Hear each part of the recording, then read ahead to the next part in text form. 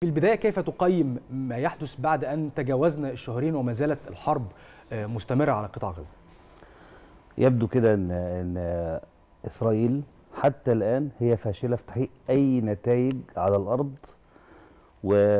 وإن المهلة اللي اداها لهم الرئيس بايدن آه، لحد نهاية هذه السنة آه، لن ين...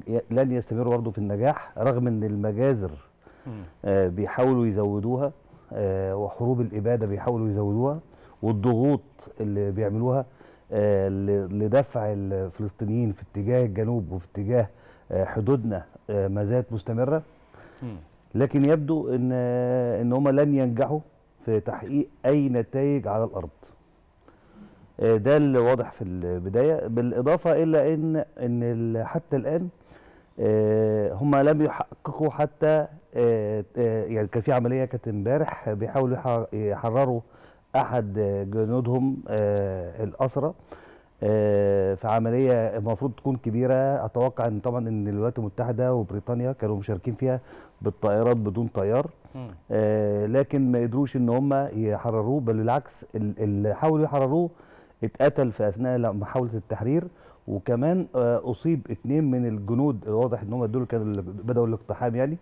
آه، إصابات بالغة لدرجة إن ده اللي أعلن عليه متحدث آه، باسم الجيش الدفاع الإسرائيلي.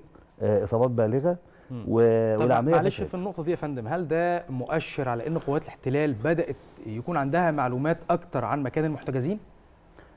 هو اولا هو أكيد تم تحليل من ال- ال- المحتجزين السابقين آه، طرق الإخفاء والأماكن اللي ممكن يكونوا آه، بيتم اخفائهم وكده. لكن أنا اللي أعرفه برضو إن في نفس الوقت إن حماس ما بتحطش كل ال- الجنود في مكان واحد إنما بتفرقهم أو كل الاسرى يعني.